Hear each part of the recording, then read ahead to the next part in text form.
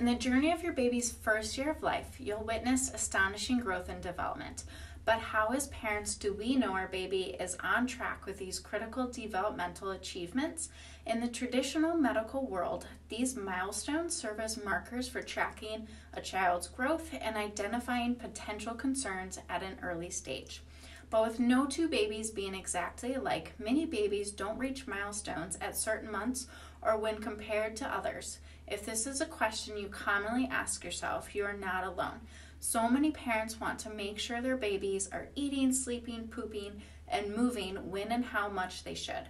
Plus, these milestones are progressing to bigger accomplishments in speech, socialization, behavioral, and learning. This video is for you, mom and dad, to use as a roadmap to help ease any worries, know what to look for, how and when, and not feel overwhelmed, especially as a first time parent, and how your baby is growing and developing.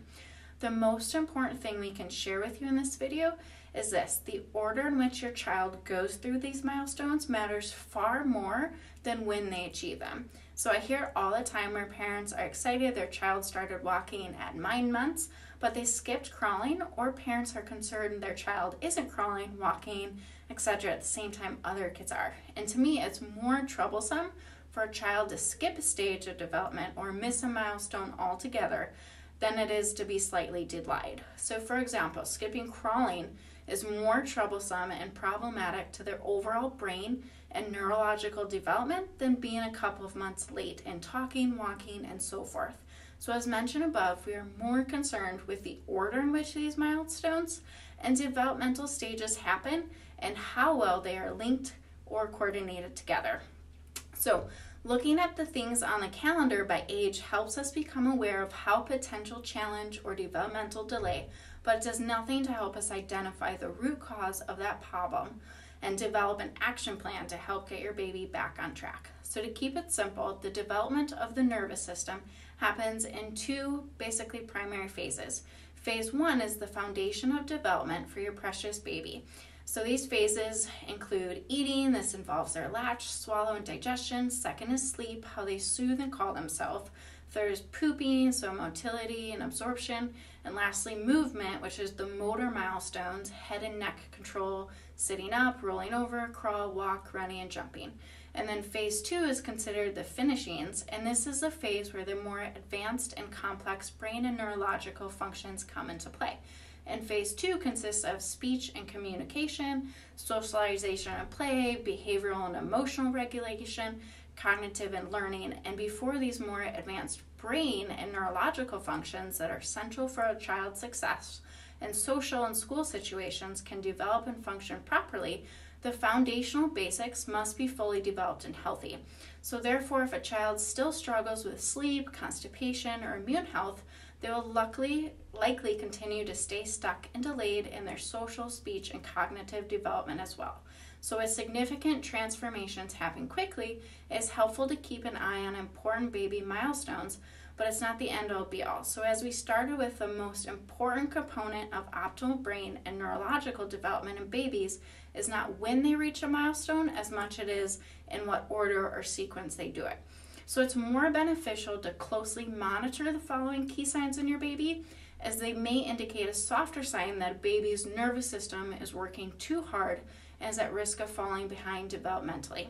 So, frequent stiffening, arching, head and neck cranking, excessive crying, difficulty standing, and inability to stand or stand independent by 12 months, skipping crawling altogether, or quickly moving from crawling to standing with a stiff and tense posture, and last persistent struggles with sleep, digestion, and immune function, or excessive crying and distress with reduced eye contact, smiling, interaction, babbling, and imitating sounds.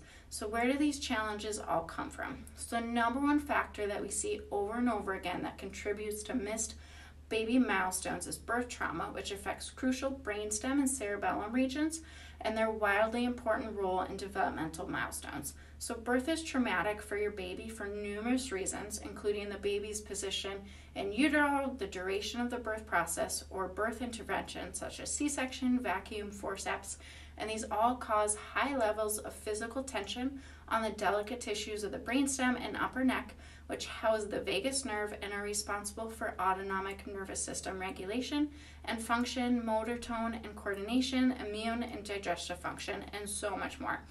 So, the impact of these various physical stressors on a developing infant's nerve and muscles in the head, neck, and upper torso is significant. So, this leads to what we call subluxation, which is the most underestimated and overlooked aspect when considering developmental delays and neurodevelopmental challenges in babies and children later on in life as well. So, if your baby's displaying signs of colics, reflux, constipation, or is having difficulty sleeping or eating, these are all indication that there may be subluxation affecting your baby's nervous system. So when your baby's nervous system is subluxated and they're in a sympathetic dominated state or fight or flight, that stops and limits development and milestone progression. So this neurologic imbalance is known as its own condition called dysautonomia. And as renowned cellular biologist and leading epigenetic researcher, Dr. Bruce Lipton perfectly states you can't be in growth and protection at the same time. So if your baby is stuck in this sympathetic fight or flight mode, they can't also be in growth and development mode, which by far is the dominant mode your baby is supposed to be in and stay in for quite a while. So, how can chiropractic help? It all starts with finding out to what degree and where precisely within your baby's nervous system their tension and subluxations lie. So we always start with an in-depth case history and examination of your baby and also utilize incredible technology called Insight scans. So these scans take only a couple minutes to use, are entirely safe and non-invasive, and help find exactly where those areas of altered tone and tension are. So baby milestones can involve so much and the rapidly developing brain and nervous system are quite intricate systems. So helping babies so early gives them the right sequence and momentum to grow on.